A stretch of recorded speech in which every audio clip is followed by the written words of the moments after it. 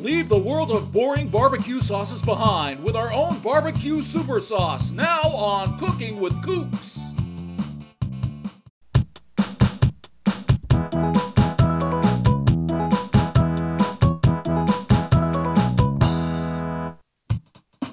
Hello, tangy sauce lovers. My name is Dr. Bill Sherwin. I'm a gastronomical enterologist. Why don't more gastronomical enterologists cook? I don't know. We know what's going on in there.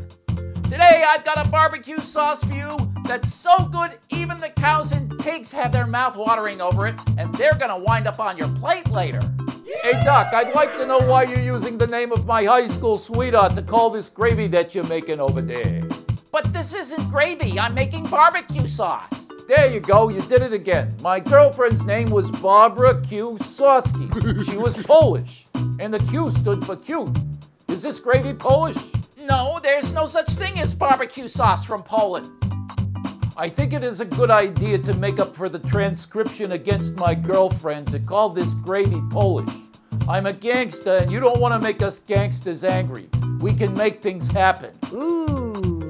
Oh, that's right. Uh, don't put a hit on me, Murray. Ah, uh, all right. To make it up to your girlfriend, I will call this Polish barbecue sauce. And as my gift to Poland, you have your own barbecue sauce. Uh, I don't know what's Polish about it, though. Barbecue Super Sauce is a sophisticated barbecue sauce that is robust and will stand up to meats and grilling. This barbecue sauce is superior to any pre made sauce and freezes well for storage. Sauteed and pureed vegetables, as well as citrus, bourbon, bacon fat, mustard, and balsamic vinegar, contribute to the enjoyable highlights of this sauce. The yield of this recipe is 32 ounces.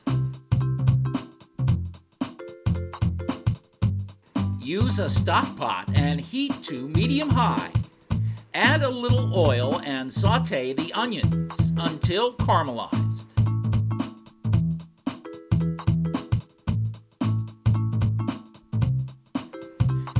Red peppers to the caramelized onions.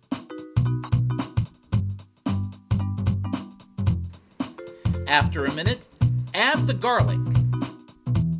Then add balsamic vinegar.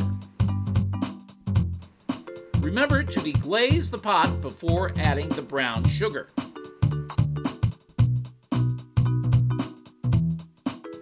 Stir and add the tomatoes and green chilies.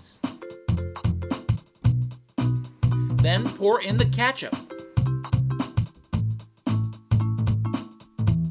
Keep stirring and cook for a minute or until bubbling. Then add the salt and pepper. Then add the hot sauce.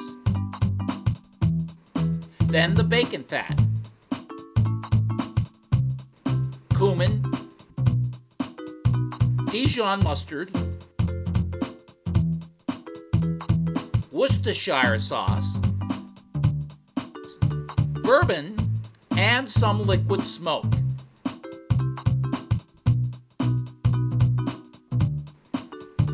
Now it is time to squeeze the lemon, lime, and orange into the mixture. Then add the beef stock. Let this cook and reduce for 40 to 45 minutes. When the sauce has reduced, take an immersion blender to puree the sauce and add beef stock if necessary to keep it flowing.